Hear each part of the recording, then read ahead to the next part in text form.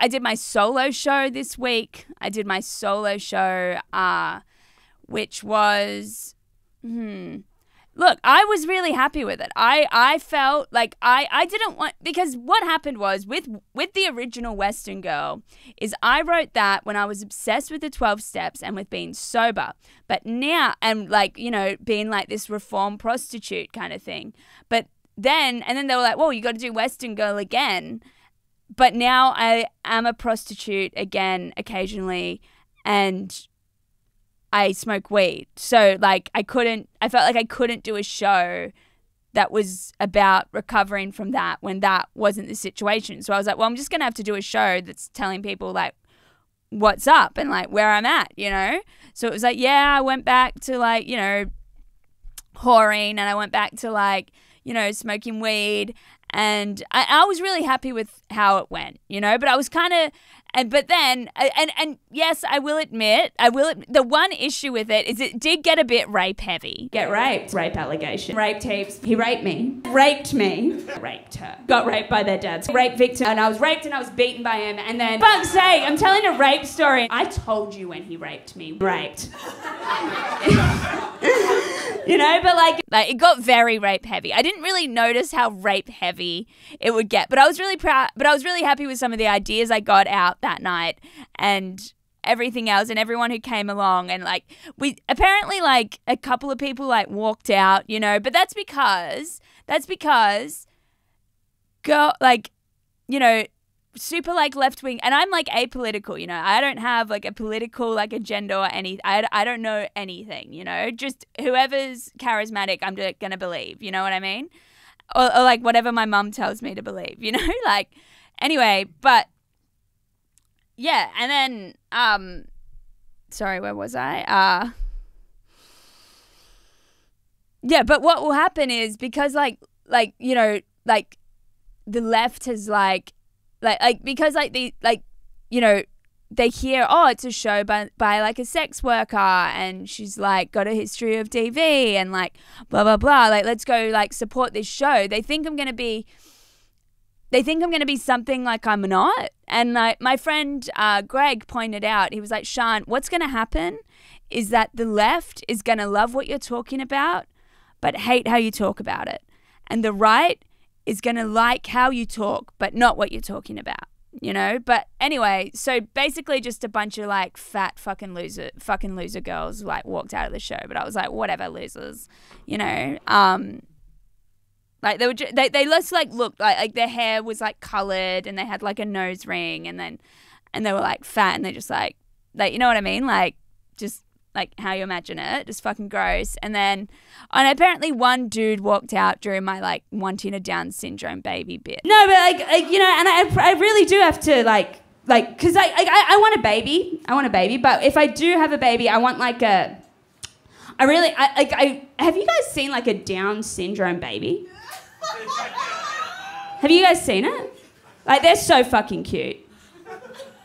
Like, I, I recently became an auntie to like a Down syndrome baby. I say that so I can get away with this joke. Like, you know, I, I recently became an auntie. Yeah.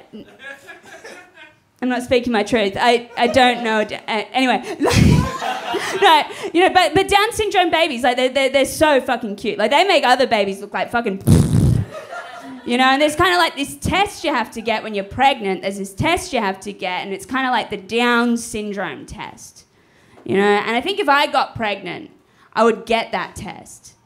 And if the doctor was like, Sian, your baby doesn't have Down syndrome, I'll be like, can I please get an abortion then? you know? Because they're so fucking cute. it's like, it's like, I, I like, like I know, I know, I, I know designer babies are like frowned upon. But like, can you give it an extra chromosome? And I, I don't know if, if it's that unethical, you know, because the extra chromosome, it actually, uh, the extra chromosome actually makes them super happy and super smart. Did you know that? No, no, no, no, not smart. I, uh, I fucked that up. Yeah, actually, actually, I grew up in a town. I grew up in a town, and there was like a Down syndrome kid in the town. And I remember the dad said to me, "Sian, if everyone in the world had Down syndrome, there'd be no wars." It's like, yeah, there'd probably also be no roads. Yeah. and like no fucking infrastructure, you know. But we definitely have hugs and wrestling, you know. A lot of people get very offended. I don't know why people get so offended by that bit.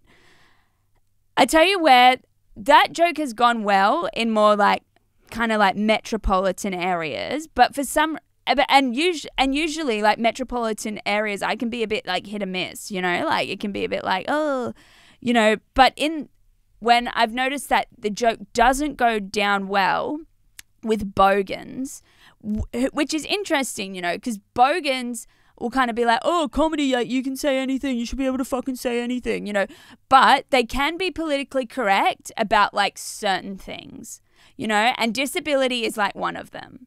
Like, bogans don't like it when you joke about disability because there's always someone in a bogan's family who has a fucking disability and is on the DSP, and they will always get offended by it. You know, so I had that, yeah, one like older dude walk out during like the Down syndrome bit, and I think the fucking lefty blue head bitches were walking out during the, or pink head bitches were just fucking like walking out. The fat girls were just walking out during like the rape stuff.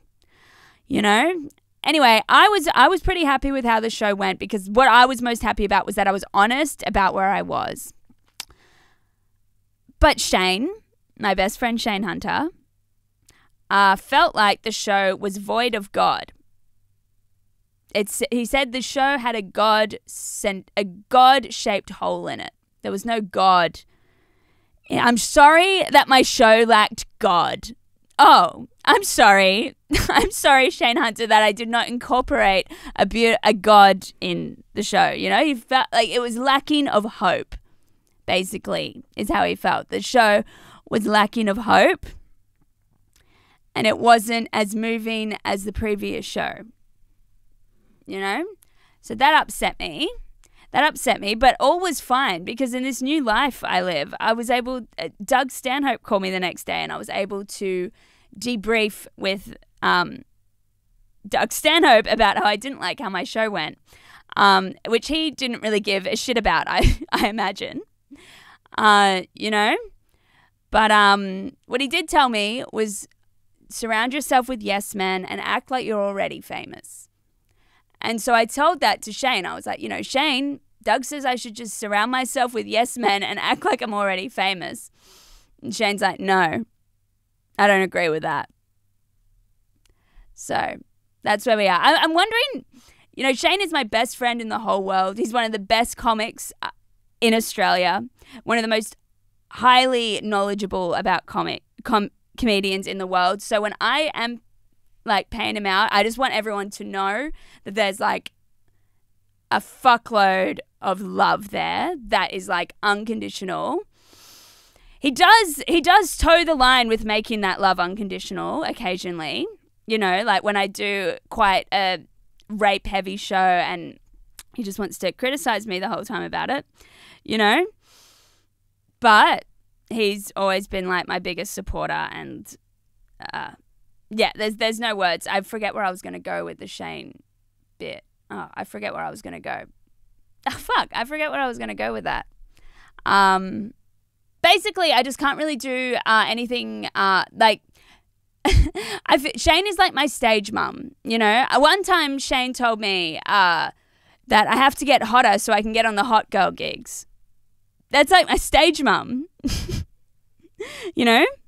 But Shane's good. Sh- Shane is Sh- Sh- Shane is not a, not a, not shy to criticize. You know, I remember when I was uh, when I was like all fucked up after being raped and bashed, and I was uh, we went out for breakfast, and he said to me, "You know, Sian, guys like girls who are curvy and friendly." I'm like, oh, I'm sorry, Shane Hunter. I'm sorry, Shane Hunter, if I'm not curvy and friendly after being raped and bashed and being in a women's domestic violence refuge. I'm sorry, Shane Hunter. You know? Anyway, so he was quite critical of the show and um, doesn't doesn't agree uh, that I should be hanging around uh, with yes men. he's been very much a no man, you know. Anyway, so yeah, I did that solo show, and um, and you know, but it was hard for me to completely concentrate on the show because earlier this week, um, I don't. I I got in contact because I because I was thinking like where can we go from here with this show? Where can we go from here? So, rightly enough, I contacted um ex Liberian cannibal warlord General Butt Naked to ask him if he'd be willing to do an interview. I thought it would be like way harder to contact like an ex cannibal warlord from Liberia. It actually was surprisingly simple because he has Instagram. We live in a dystopia, ladies and gentlemen. And I've been following on on Instagram for a while because he occasionally does like live Instagram things and I'll just like watch it and be like, "What the fuck? It's a cannibal." You know, it's a fucking oh my fucking god. You know? So and I messaged and I and I messaged Doug about it and I was like, "Yo, like I I want to get like this like ex cannibal warlord like on my podcast. I reckon it'll be easy to contact him." And rightly enough, I sent him a message. I sent him an email. I found oh, I found his email on his Instagram. I sent him an email. He got back to me in about a couple of hours. So I just had like an email from a cannibal warlord where he, he gave his number. He sent me his number. So now I have the number of a cannibal warlord.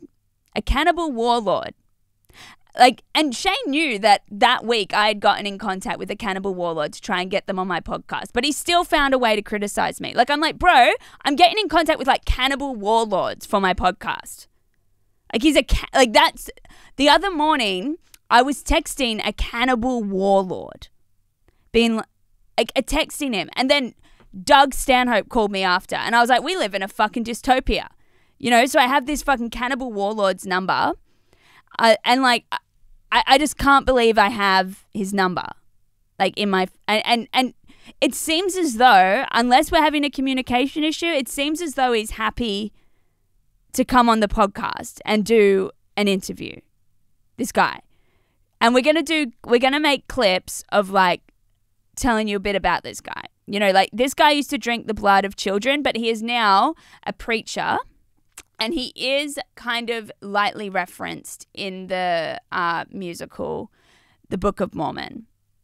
So the character in that is I didn't watch that musical, but uh, he I know that General Butt Naked is mentioned in that. So it's been very hard for me to concentrate on absolutely anything when I have been texting with a cannibal. Like I don't know if this is going to have like a psychological effect on me. You know, like I've been texting, like my like my housemate was getting mad at me like just before I left, uh, because like I didn't do the washing up, and I was like, it's really hard for me to care about any of this when I'm talking to a cannibal, you know, like like, and and he might come on my podcast, like You know what I mean? Like this guy used to drink the blood of children. There's a there's an interview with him where he says we used to drink the blood of an innocent child. Let us bring the an innocent child Yeah. and we'll open the back of the child, thrust out the heart. Alive. Yes. And I'm like, why do you have to say innocent before child? Like just say child. But he always will say that we drank the blood of the innocent child. Blah, blah, blah, blah, blah, blah. Like, you know. So I felt like the only next best thing I can do, other than getting molested by uh just by an intellectually disabled man in my podcast, is to have uh, uh ex Liberian cannibal warlord turned Christian preacher, General Butt Naked on my podcast, you know, or on my YouTube show. Uh, but um, yeah, and I, but I think I can relate a lot to General Butt Naked in a way, in a weird way. I, I can relate to him, kind of. Like, I can relate to him, you know, like, because what me and him, although we come from two very separate worlds, he has been working on his redemption because he is now a preacher. Um, and and I've also been working on my redemption, but I've kind of like fallen off the wagon a bit. There's not really much redempting going on at the moment, really. Um, except I think I should have redemption for getting a cannibal warlord on my podcast. Actually, if I if I can pull it off, if I can pull it off, Shane can never criticize me. No one can ever criticize me again because it's like, well, did you get a cannibal? Did you talk to a cannibal? Did you get a cannibal's number? No. Like he has been on other documentaries. Like, you know, like he was on a Vice documentary, Larry Charles' Dangerous World of Comedy, which is the most incredible comedy documentary you'll ever see. But they would have had like a whole production team. I'm just a hooker from Brisbane who's talking to a cannibal warlord in Liberia. Like, I don't, I don't know what else I can do to like prove myself. You know? Except hopefully get this guy on. And if if he doesn't, like yeah. You know, but but yeah, he's also working on his redemption, you know? So that's something like I want to talk to him about cancel culture, you know? Cuz he's kind of faced that. I've faced that. I faced that um, with many comedy clubs. Um, you know, many comedy clubs. Uh, he's he's rumored to possibly be homophobic. I've been rumored to be homophobic because one time at Good Chat I said faggot for two minutes straight. So it's something like we can both kind of like relate on, and I think why not just get this motherfucker on my podcast, you know? So yeah, and this is why I need a suitor because we're going to try and call him at the end of this episode. We're going to try and call him, and then and it's eight. It's it's after eight p.m. there. I'm eight eight p.m. here. Like I'm to have to go home and sleep alone after talking to a cannibal warlord. You know, like I I feel like I at least deserve like someone to snuggle with after that. But I don't have anyone. So I'm going to talk to this cannibal warlord and then I'm just going to go home and like hopefully, hopefully if we don't get through to him today, then I don't know what I'll do. I, will I'll just I'll be like, oh well, I, I, bet Olivia Grace probably could have gotten in fucking contact with him, but I can't because I'm a piece of shit. Like I'll, I'll fucking I'll I think I think I'll start doing meth again if I can't get in contact with him. I will hate myself so much. I think the most important thing in my life right now is getting in contact with this cannibal. I, I actually, actually, I even brought a change of clothes like before I contact him. And also, Shane was like to me, remember to be honest with the cannibal, Sian. Be honest with him. And I'm just like, oh yeah, we got to think about ethics right now when we're about to talk to a guy who used to eat children. Yeah, I got to think about ethics. Be honest with him. But I actually, I even bought a change of clothes because I, I don't want to look shit talking to the cannibal. You know, I want him to think like I don't know what I want. I don't I don't know. I felt like I should dress up for him. I don't I just felt like I should dress up for him. I felt like it was a special occasion and I can't just wear this fucking ugly Adidas jacket, you know. So I actually did do have a change of clothes that I'll get into before we contact him.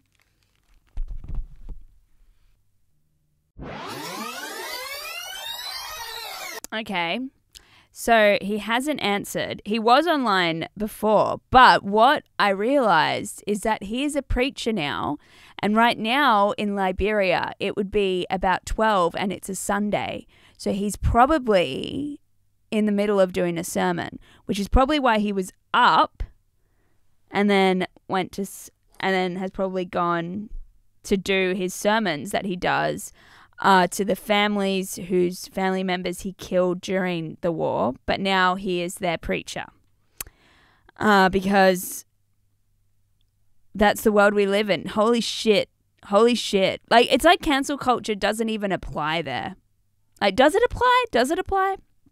I know we'll have to ask him all this. Like, do you have haters? Like, he does have haters. I have watched some stuff with him that you know, he's a bit freaked out because there's been some assassination attempts on his life. Um, it's like, yeah, it's a bit freaky, isn't it, when it happens to you? But like, how could anything like even freak this guy out? You know, like, oh, geez, is there's just too, there's too much. There's too much to even go into.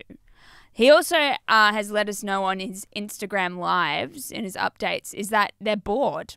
The camp is very boring most of the time, if we have work to do, before in the evening the boys are tired. But we have not worked uh, recently. No job to do. But then we realize that the camp is boring because there is no television, no TV. At least if the children, if the guys, the people have TV for in the evening, if they are not working, they could be watching some on. We all just sitting around. You want to it, boy?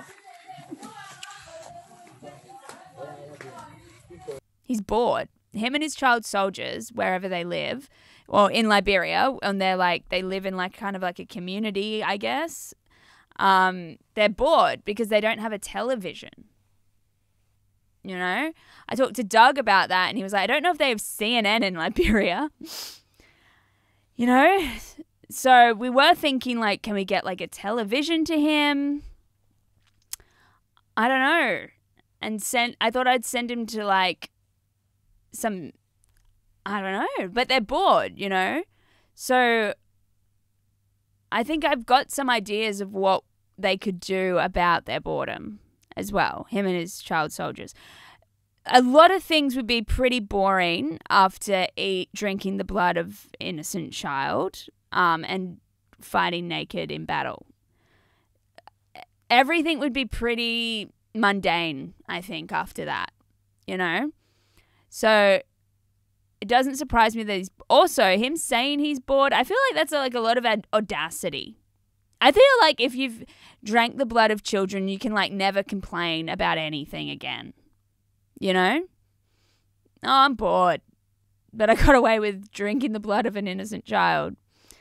You know? So, Anyway, that man who drank the blood of an innocent child. But preachers are always preachers are all have always got a bit of a fucking dirty backstory. You know, it's not just in West Africa. It's also in like here. You know, like we have like like you know the Catholic priests and all them. Like they they've all got like these dodgy backstories. You know, so it's it's just the same except it's like you know um. I guess none of our Catholic priests have ever Oh, they probably fucking have, eh? Like they're such freaks. So this is just this is just a guy that admits to it, which is also what I kind of admire about. At least he admits to it. He's like, I raped women, I raped people, I drank, I ate children, I murdered people. Like he admits to it. He, you know, like my ex doesn't admit to that. Like, you know, like he's he's not a coward if anything. If I've decided I'm going to put him down as my next of kin for any paperwork I do moving forward. You know, I want them to. Co- How funny would it have been though? Imagine if we had gotten this guy to advocate to my HR to get it back. Just, I just got um this this man is advocating for me to get my job back.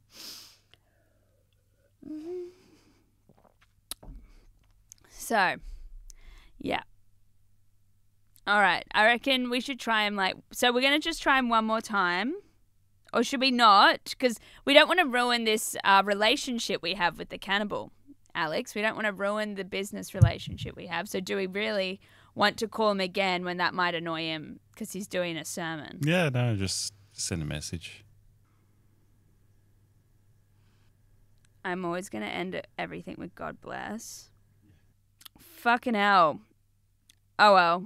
We'll have to try again to contact the cannibal tomorrow so that I have an excuse to message Doug Stanhope. hmm. And let him know. Oh my god. Well, yeah. Well, let let's hope. Let's hope. And we'll get in contact with him tomorrow. And I will get a call at 3 a.m. from a cannibal. And no one's going to see it. If Ashan gets a call from a cannibal at 3 a.m. and no one's around, did she really get a call from a cannibal? so we got a mini cliffhanger. Okay. I got a bit sure of myself. So for the next 24 hours until we can try and call him again, everyone's free to criticize me. But until then, so for the next 24 hours, people can criticize me. But let's tune in next next episode to see if we do get in contact uh, with the cannibal warlord from Liberia, General Butt Naked, now known as Joshua Blahyi. Fingers crossed. Never thought I'd fingers cross that, but fingers crossed. I- I'm feeling more depressed. I feel like I would have felt depressed whether I'd called him today or whether I hadn't called him today. I would be depressed either. I'd be like, "Oh, I'm depressed. I can't call him," and then I'll be, I'll be staring into the abyss. If I had called him, I'd be like, "Oh my god, I talked to a cannibal. I'm gonna like disassociate," you know. Anyway, I wonder what my intellectually disabled friend and old man are doing. Uh, I wonder if I can go smoke weed at their house now. Uh, tune in next week, folks. Thank you. Cool.